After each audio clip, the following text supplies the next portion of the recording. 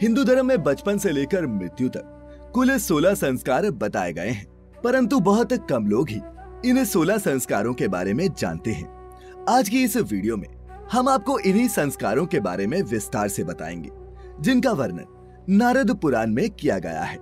और यह भी बताएँगे कि इन संस्कारों का इतना धार्मिक महत्व क्यों है। नमस्कार और स्वागत है आप सभी का, द डिवाइन टेल्स पर एक बार फिर। नंबर एक, गर्भाधान संस्कार। मित्रों, हिंदू संस्कारों में गर्भाधान संस्कार प्रथम संस्कार है। यहीं से शिशु का निर्माण होता है। गृहस्थाश्रम में प्रवेश करने के पश्चात ही एक दंपत्ति को संतान उत्पन्न करने की मान्यता दी गई है। इसीलिए शास्त्र में कहा गया है कि उत्तम संतान प्राप्त करने के लिए सबसे पहले गर्भाधान संस्कार करना ज़रूरी है।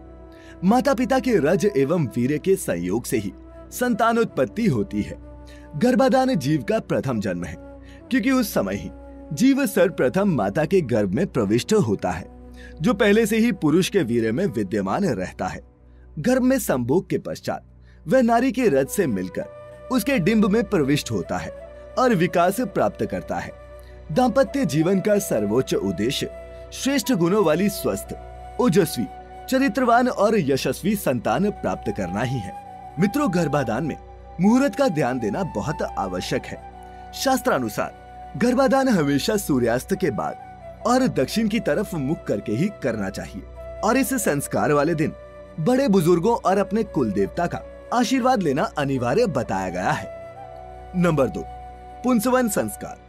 मित्रों, ये संस्कार गर्भ धारण के तीसरे माह में किया जाता है।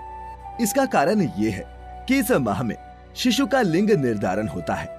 इस माह में ये संस्कार करने से गर्भस्थ शिशु के अंगों का विकास भी सही से होता है। अब एक स्वस्थ संतान तो सभी दंपतियों की चाह होती ही है। ऐसे में इन संस्कारों का योगदान उसमें सहयोग देने वाला होता है। मित्रों, गर्भस्थ शिशु पर माता पिता के मन और स्वभाव का गहरा प्रभाव पड़ता है।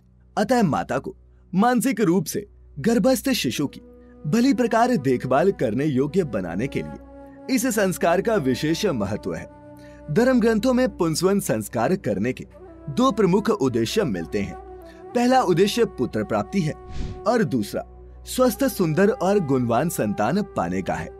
पहले उद्देश्य के संदर्भ में स्मृति संग्रह में लिखा है कि इस गर्भ से पुत्र उत्पन्न हो, इसीलिए पुंसवन संस्कार किया जाता है। नंबर तीन, सीमंतोन्यन संस्कार। मित्रों, इसका शाब्दिक अर्थ है सीमंत, अर्थात केश और उन्नयन, अर्थात ऊपर उठाना। इस संस्कार में पति अपनी पत्नी के बालों को अच्छे से संवारता है। जब महिला का गर्भ छह महीने का हो जाता है तो उस समय माता को आने वाले शिशु के लिए सीमंतोन्नयन संस्कार प्राप्त करना होता है। इस संस्कार के द्वारा गर्भवती महिला को मानसिक मजबूती प्रदान की जाती है। वहीं उसे सकारात्मक विचारों से परिपूर्ण रखना भी बहुत ज़रूरी है। इस समय में बच्चे का विकास हो रहा होता है। ऐसे में माँ के हृदय में नई नई इच्छाएँ पैदा होती हैं और इस शिशु के मानसिक विकास में इन सभी इच्छाओं का पूरा होना अति आवश्यक है, क्योंकि वह सब सुनता समझता है। अतः छठे या आठवें महीने में इस संस्कार को कर लेना चाहिए। नंबर चार जात कर्म संस्कार। मित्रों जात कर्म संस्कार हिंदू धर्म संस्कारों में चौथा संस्कार है। गर्भस्थ बालक के जन्म होने पर यह संस्कार किया जाता है। जात कर्म संस्कार में वैदिक मंत्रों द्वारा संतान के दीर्घ जीवी और मेधावी होने की मंगल कामना की जाती है। इस संस्कार से शिशु को कई दोषों से मुक्ति मिलती है। इस संस्कार में बच्चे को स्नान कराना, मुख आदि साफ़ कराना, मधु और घी चटाना शामिल है। इससे माता के गर्भ में जो रस पीने का दोष रहता है, वो भी दूर हो जाता है। नंबर पाँच, नामकरण संस्कार। सोलह संस्कारों में नामकरण संस्कार मित्रों पांचवा संस्कार है। सनातन हिंदू धर्म के अनुसार, शिशु के जन्म के महज दसवें ही दिन उसका नामकरण संस्कार करवा लेना चाहिए। शुभ दिन और मुहूर्त के साथ ही। राशि के अनुसार, शिशु का नाम रखे जाने की खास अहमियत है। मित्रों, मनुष्य की योनि में जन्म लेना वैसे तो एक सौभाग्य की बात है, लेकिन नामकरण वाली जगह सबसे पहले वहाँ अभिषेक किया जाता है, क्योंकि ऐसा माना जाता है कि शिशु में पूर्व जन्म का कुछ प्रभाव रह जाता है। अभिषेक करने से उन प्रभावों से मुक्ति मिलती है।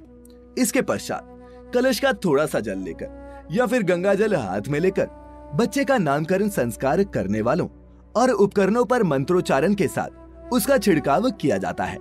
नाम प्राय दो होते हैं, एक गुप्त और दूसरा प्रचलित। गुप्त नाम माता पिता के अलावा और किसी को भी पता नहीं होता। शिशु का नया नाम लेकर सबके द्वारा उसके चिरंजीवी, धर्मशील, स्वस्थ एवं समृद्ध होने की कामना की जाती है। छठा, निष्क्रमण संस्कार। मित्रों, निष्क्रमण का अर्थ होता है बाहर निकालना। इस संस्कार के तहत शिशु को घर से बाहर ले जाकर सूर्य देवता के दर्शन करवाए जाते हैं। शिशु के जन्म के तुरंत बाद उसे सूर्य की रोशनी के करीब नहीं लाया जाता। इससे उसकी आँखों पर नकारात्मक प्रभाव पड़ सकता है। इसीलिए जब बालक की आँखें तथा शरीर कुछ पुष्ट बन जाए, तभी इस संस्कार को करना चाहिए। अर्थात जन्म के चौथे मास में निष्क्रमण संस्कार कर सकते हैं। चार मास के बच्चे का ज्ञान और कर्मेंद्रिया, सशक्त होकर धूप, वायु आदि को सहने योग्य बन जाती हैं। सूर्य तथा चंद्र देव का पूजन करके, बच्चे को सूर्य और चंद्र आदि के दर्शन करवाना, इस संस्कार की मुख्य प्रक्रिया है। अब चूँकि मनुष्य का शरीर पृथ्वी, जल, तेज, वायु और आकाश से बनता है, इसीलिए बच्चे के कल्याण की कामना करते हुए ये संस्कार किया जाता है। सातवां अन्न प्राशन संस्कार। शास्त्रों में अन्न को जीवन का प्राण बताया गया है। अन्न प्राशन संस्कार में पहली बार बच्चे को अन्न खिलाया जाता है। इससे पहले बच्चे का आहार सिर्फ़ माँ का दूध होता है। जब बच्चा सात या आठ महीने का हो जाता है, तब उसकी पाचन शक्ति प्रबल हो जाती है और उसके आहार में कई दूसरी चीज़ों को भी शामिल किया जाता है। इसकी शुरुआत अन्न प्राशन संस्कार से ही होती है। आठवां, चूड़ाकरण संस्कार। मित्रों, हिंदू धर्म में आठवां संस्कार चूड़ाकरण है, जिसे मुंडन भी कहते हैं। ये संस्कार पहले या फिर तीसरे वर्ष में कर लेना चाहिए। इस संस्कार में शिशु के सिर के बाल पहली बार उस तरह से उतारे जाते हैं।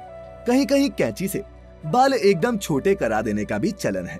बालक का कपाल लगभग तीन वर्ष की अवस्था तक कोमल रहता है। तत्पश्चात धीरे धीरे कठोर होने लगता है। गर्भावस्था में ही उसके सिर पर उगे बालों के रोम छिद्र इस अवस्था तक कुछ बंद से हो गए होते हैं। अतः इस अवस्था में शिशु के बालों को उस तरह से साफ़ कर देने पर सिर की गंदगी, कीटाणु आदि तो दूर हो ही जाते हैं। मुंडन करने पर बालों के रोम छिद्र भी खुल जाते हैं। इससे नए बाल घने, मज़बूत व स्वच्छ होकर निकलते हैं। नौवा कर्ण वेद संस्कार। मित्रों, कर्ण कान को कहते हैं। और वेद का मतलब होता है छेदना। इसका संयुक्त अर्थ कान को छिदवाना होता है। इस संस्कार के लिए मृक्षिरा रेवती, चित्रा अनुराधा, हस्त, अश्वनी, पुष्य, श्रवण, घनिष्ठा और पुनर्वसु आदि शुभ माने जाते हैं। इन नक्षत्रों में से किसी भी नक्षत्र में आप ये संस्कार कर सकते हैं। इसे शिशु के जन्म के छठे, सातवें, आठवें, दसवें, बारहवें या फिर सोलवे दिन करवाया जाता है, जहाँ बालक का कर्ण छेदन करते समय पहले दाहिने और फिर बाएँ कान को छेदते हैं। वहीं कन्या के साथ बिल्कुल उल्टा किया जाता है। कन्या का पहले बायां कान छेदा जाता है। और फिर दायां कान ये संस्कार राहु केतु संबंधित दोष को खत्म करने में भी सहायक होते हैं। दसवां, यज्ञोपवीत। मित्रों, यज्ञोपवीत संस्कार को उपनयन या फिर जनेयु संस्कार भी कहते हैं। प्रत्येक हिंदू को ये संस्कार करना चाहिए। उप यानी कि पास और नयन यानी कि ले जाना। अर्थात गुरु के पास ले जाने का अर्थ ही उपनयन संस्कार कहलाता है। आज भी ये परंपरा चलती आ रही है। जनेयु यानी कि यज्ञोपवीत में तीन सूत्र होते हैं। ये तीन देवता, ब्रह्मा, विष्णु और महेश के प्रतीक हैं। इस संस्कार से शिशु को बल, ऊर्जा और और तेज प्राप्त होता है। साथ ही उसमें आध्यात्मिक भाव भी जागृत होते हैं। ग्यारहवा, वेदारंभ संस्कार। मित्रों, यह संस्कार ज्ञानार्जन से संबंधित है। शास्त्रों में ज्ञान को सर्वोपरि माना गया है। प्राचीन काल में ये संस्कार मनुष्य के जीवन में विशेष महत्व रखता था। यज्ञोपवीत के बाद बालकों को वेदों का अध्ययन एवं विशिष्ट ज्ञान से परिचित होने के लिए योग्य आचार्यों के पास भेजा जाता था और उसी प्रक्रिया को वेदारंभ संस्कार कहा जाता है। बारवा केशांत संस्कार। केशांत का अर्थ है बालों का अंत करना या फिर उन्हें समाप्त करना। विद्या अध्ययन से पूर्व भी केशांत संस्कार किया जाता है। शिक्षा प्राप्ति से पहले शुद्धि ज़रूरी है ताकि मस्तिष्क ठीक दिशा में काम करे। प्राचीन काल में गुरुकुल से शिक्षा प्राप्त करने के बाद भी केशांत संस्कार किया जाता था। इसे करने के लिए शास्त्रों में उत्तरायण का समय उचित बताया गया है। जहाँ मुंडन में पहली बार बच्चे के सिर्फ़ सिर के बाल काटे जाते हैं, वहीं इस संस्कार में सिर के बालों के साथ साथ पहली बार उसकी दाढ़ी भी बनाई जाती है। तेरवा समावर्तन संस्कार। मित्रों, समावर्तन संस्कार का अर्थ है फिर से लौटना। आश्रम या फिर गुरुकुल से शिक्षा प्राप्ति के बाद व्यक्ति को फिर से समाज में लाने के लिए यह संस्कार किया जाता था। और इसका आशय है, ब्रह्मचारी व्यक्ति को मनोवैज्ञानिक रूप से जीवन के संघर्षों के लिए तैयार करना। चौदवा, विवाह संस्कार। उचित उम्र में विवाह करना भी ज़रूरी है। विवाह संस्कार सर्वाधिक महत्वपूर्ण संस्कार माना जाता है। और इसके अंतर्गत, वर और वधु दोनों साथ रहकर धर्म के पालन का संकल्प लेते हुए आपस में विवाह करते हैं। विवाह के द्वारा सृष्टि के विकास में योगदान ही नहीं दिया जाता, बल्कि व्यक्ति के आध्यात्मिक और मानसिक विकास के लिए भी ये ज़रूरी है। इस संस्कार से व्यक्ति पितृ ऋण से भी मुक्त हो जाता है।